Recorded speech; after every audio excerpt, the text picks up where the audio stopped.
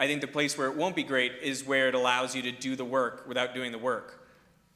And it's that work which is essential for learning. So, like, that's my big concern.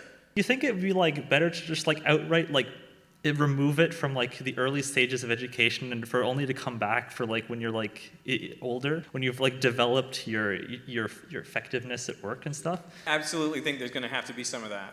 I think it's a little bit like, you know, when I was at school, we had TI 82 calculators, maybe TI 83s.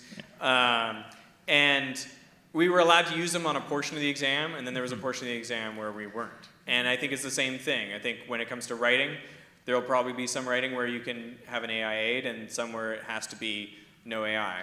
And I totally think that's essential, especially at the lower levels of, of schooling. Is like we're gonna have to have writing sessions for hours in class just to get people that experience of, of going through this uh, challenging process. So yeah, Yeah, all right, thank you. yeah.